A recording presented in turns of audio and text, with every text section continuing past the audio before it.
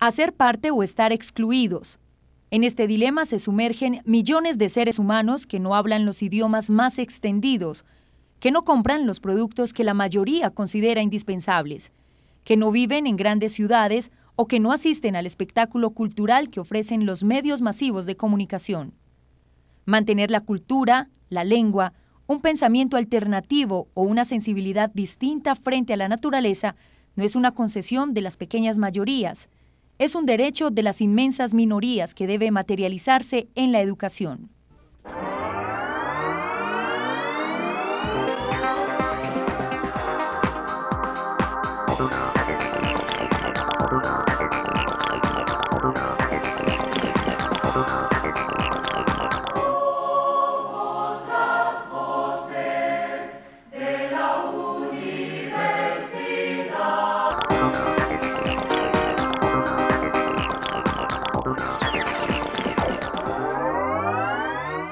De los principales problemas que nosotros vemos en la universidad convencional es que cuando van los indígenas a esos centros, pues pasan desapercibidos y no están siendo reconocidos eh, ni como indígenas y mucho menos eh, en sus lenguas. Entonces pensamos que un principio que debe asumir la universidad indígena es ese reconocimiento de la diversidad lingüística y además de potenciarlo, desarrollarlo. Uno pues ha tenido acercamiento con la educación convencional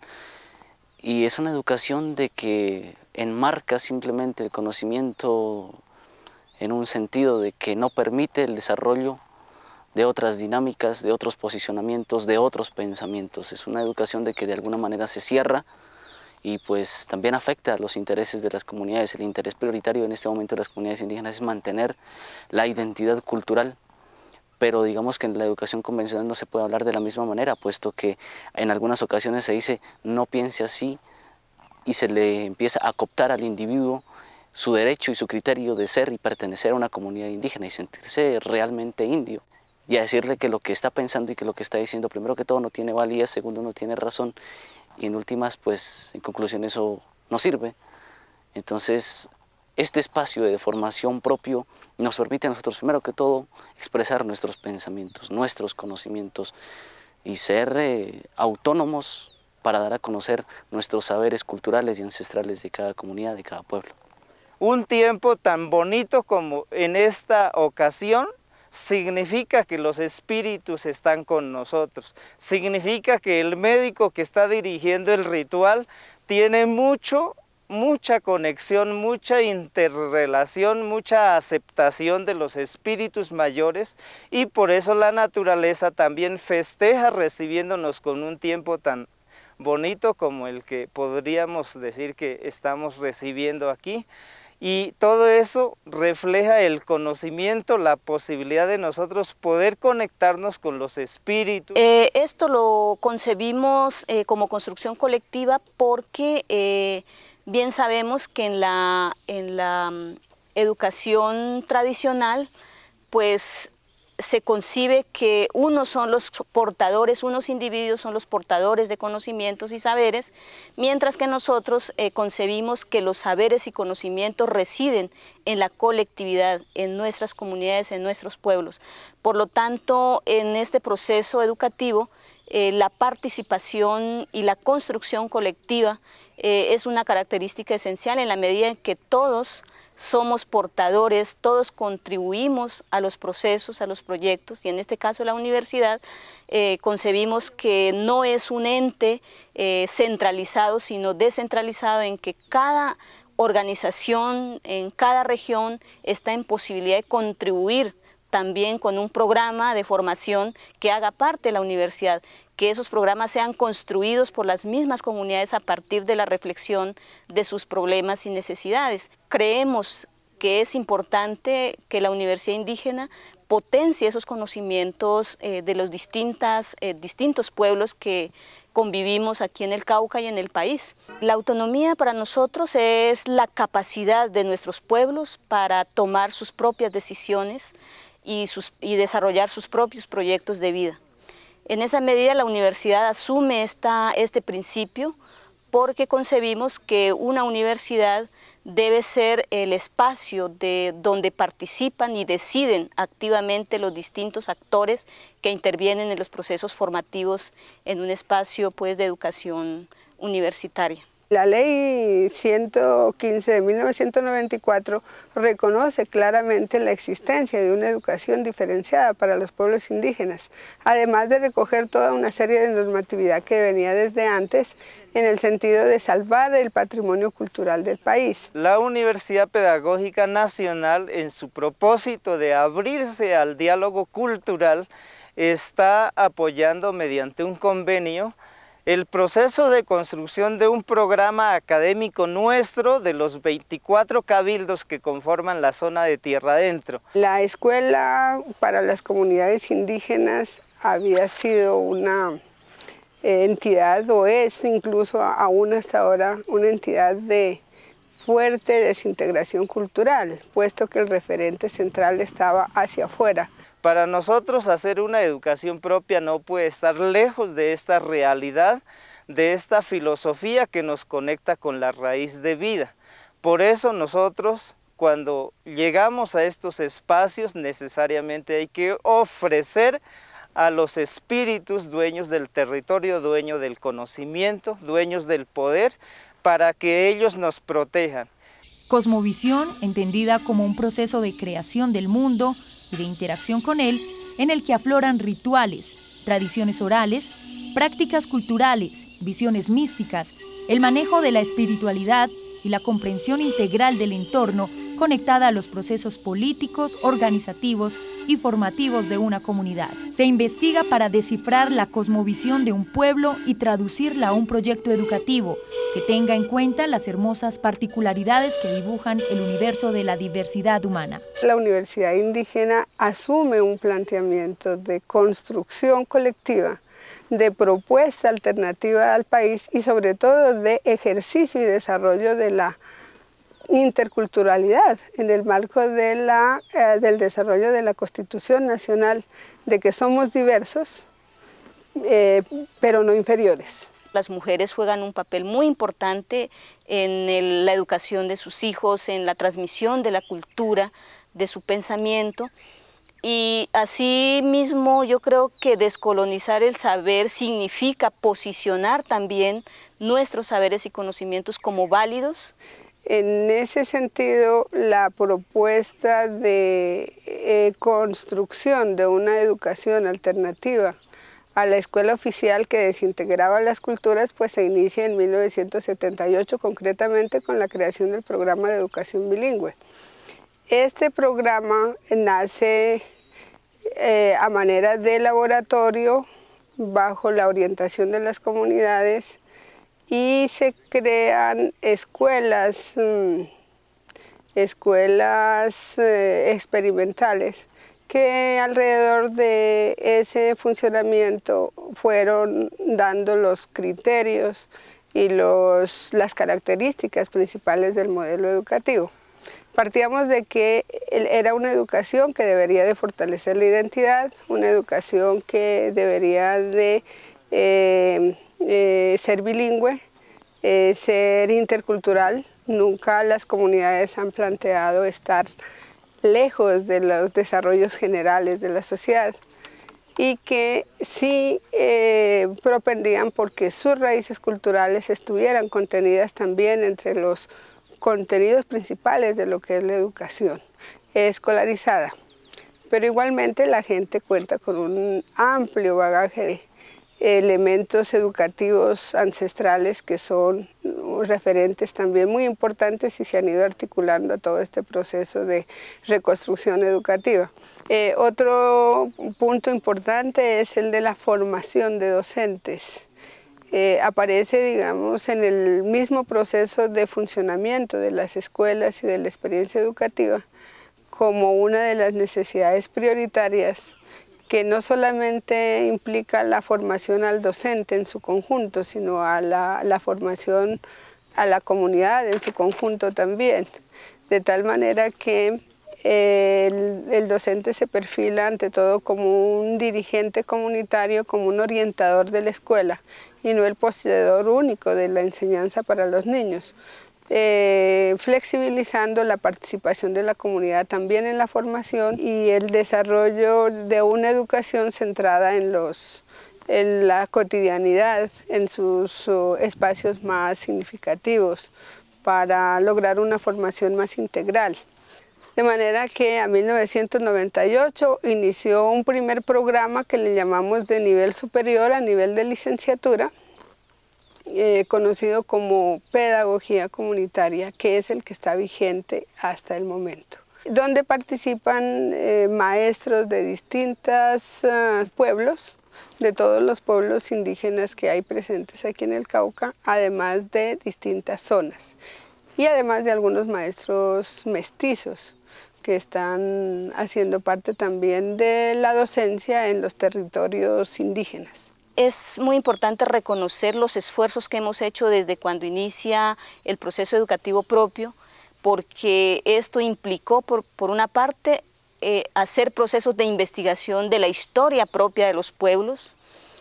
y también la investigación lingüística, la investigación sobre la cosmovisión indígena, en este caso sobre el origen de la historia, la historia de origen de los distintos pueblos. Se ha desarrollado la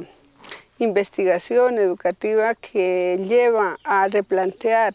el tipo de educación que se tiene, ah, que se quiere, sobre el análisis de las condiciones educativas en que se vive, sobre el desarrollo, el conocimiento de los niños, sus necesidades, sus problemas, el conocimiento de las comunidades en su cultura, en sus lenguas, en su manera de ver y entender la, la realidad que se está que se está viviendo. Eh, todo el proceso de recuperación lingüística, estudiar las lenguas indígenas implicó hacer procesos de investigación muy profundos, eh, desarrollar hoy procesos, por ejemplo, de investigación en torno a lo que es la concepción de familia y sociedad. Eso nos lleva a pensar que hay otras eh, formas de concebir la construcción de sociedad y de organización de una comunidad. Comunitaria en el sentido de que las comunidades eh, asumen el derecho y el deber de darle orientación y lineamientos a la educación. Comunitaria en la medida en que eh, articulan el proceso de desarrollo eh, socializante de la cultura a la escuela y la proyectan para construir nuevos referentes pues adecuados a las condiciones actuales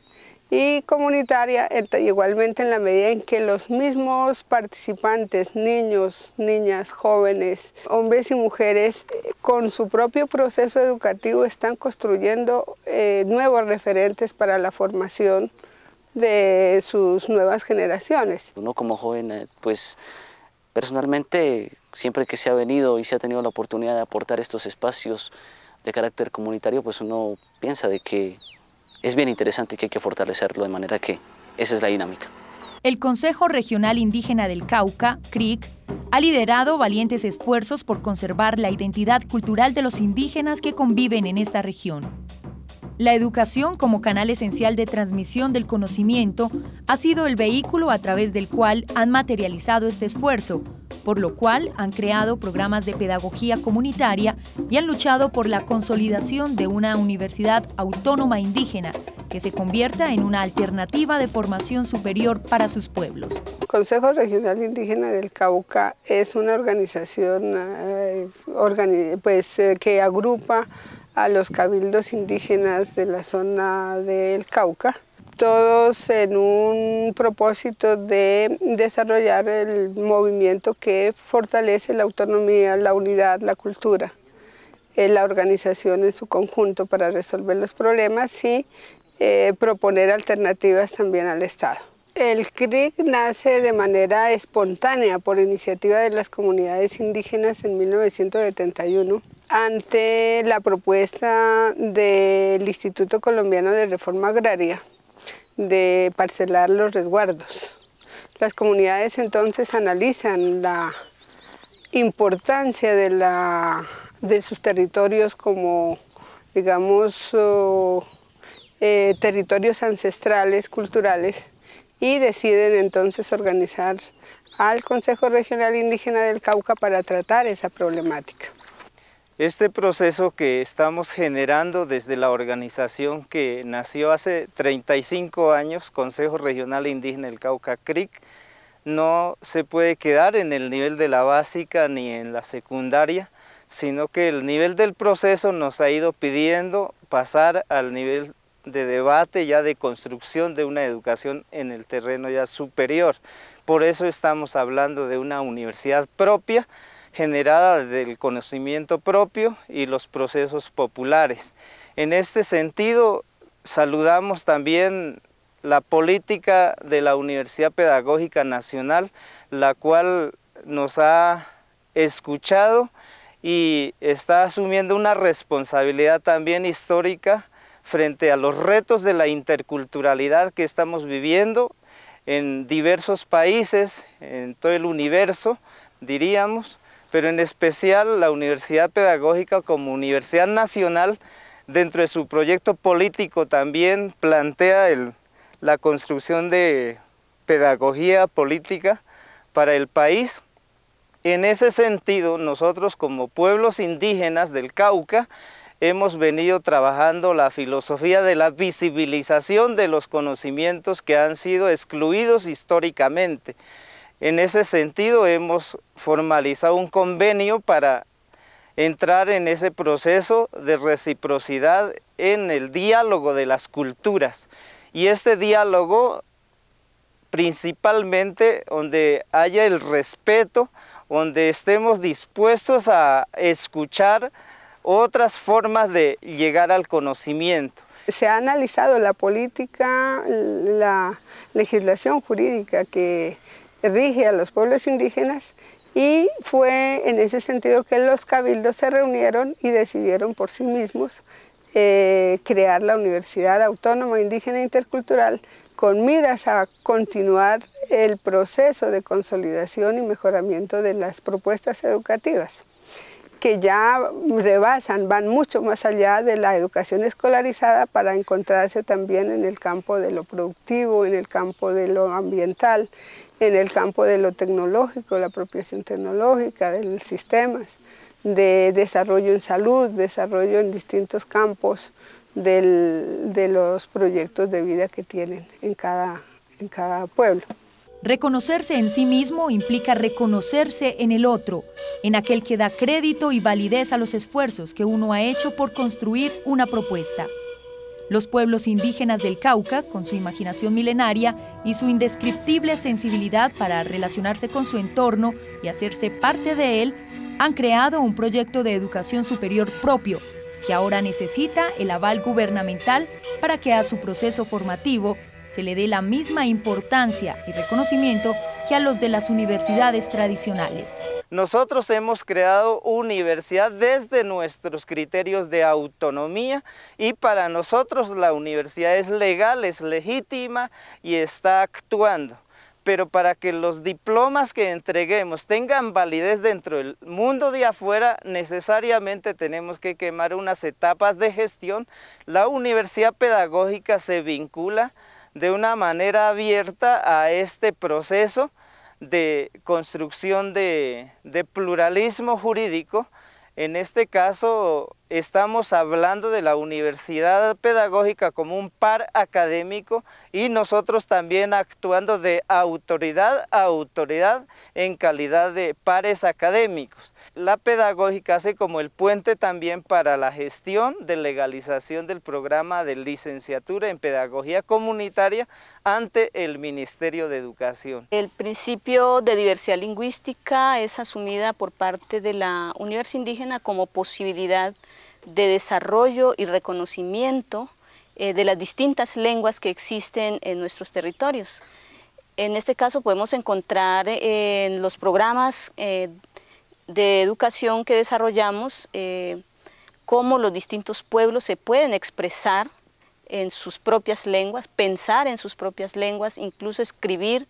en sus propias lenguas. Encontramos, por ejemplo, indígenas de la costa pacífica que son monolingües en la lengua cia y que sus discusiones, sus reflexiones son en su propia lengua y que la universidad pues tiene que reconocer y mirar cómo eh, entiende, se, se comunica con ese pueblo.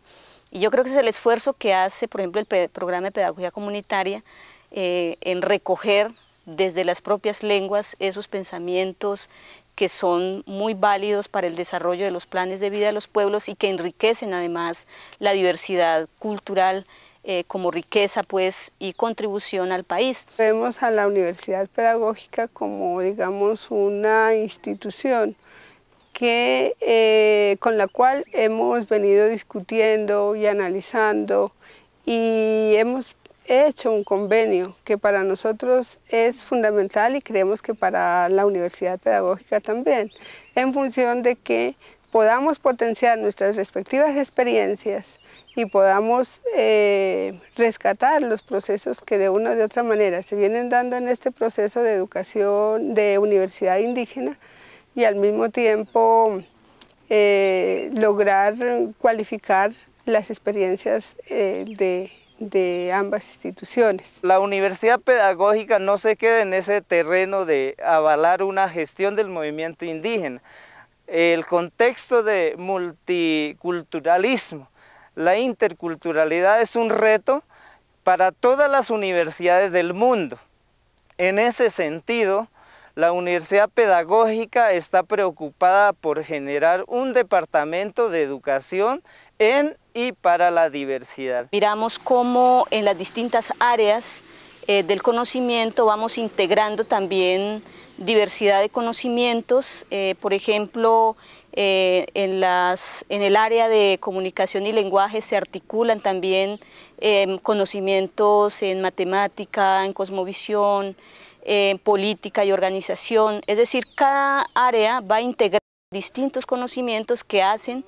que los estudiantes o las comunidades pues tengan una visión integral y yo creo que es una de las características importantes de estos procesos educativos que no nos permiten a nosotros encasillarnos en las disciplinas, sino más bien que las disciplinas entren a integrar también estas áreas que hemos definido nosotros desde eh, nuestra perspectiva educativa. Y estas áreas son definidas básicamente desde las estrategias de los planes de vida indígena que componen distintos eh, ejes como el territorio, la economía, la salud propia, la justicia indígena, la organización y política, el gobierno indígena, eh, la economía y el medio ambiente. Es decir, son ejes estratégicos que desarrollan los pueblos indígenas y que la escuela o los colegios deben articular e integrar en sus áreas. Los jóvenes de las comunidades indígenas son sabios en potencia, espíritus que necesitan impregnarse del saber que trae la experiencia para convertirse en grandes líderes. Su trabajo para desarrollar la Universidad Autónoma Indígena y su inclusión en sus proyectos son las primeras señales de un futuro alentador que traerá respeto y admiración a estos pueblos maravillosos que han sobrevivido a los avatares de la historia. Ya se ha tenido como mucho reconocimiento, que ya hay muchos jóvenes que, están saliendo de, por lo menos de, de nuestro grupo juvenil, a ser ya dirigentes. Es un espacio muy importante ya que en ellos pues, nos fortalecemos como jóvenes, ya que no, pues, nosotros no tenemos como la oportunidad de acceder a, otras universidades, a otras instancias de, pues, de las ciudades. Y esa universidad, pues para nosotros es un, tener, tenerla aquí en Tierra Adentro es un privilegio, ya que pues de ahí a raíz de eso salen los diferentes programas que nos van a fortalecer más a nosotros como, como indígenas y fortalecer más nuestro proceso comunitario que se ha venido manejando durante muchos años. La idea, la intención de nosotros es naturalmente aprovecharla en el sentido de que repercuta de manera social para las comunidades en este proceso de construir y de avanzar en la formulación de proyectos educativos comunitarios y de ir apoyando y estar mucho más de cerca, mucho más compenetrados con las autoridades tradicionales. Y creo que nuestras contribuciones con el proyecto de la Universidad Indígena es justamente decir que hay muchos saberes y que eso constituye una riqueza muy importante para el país.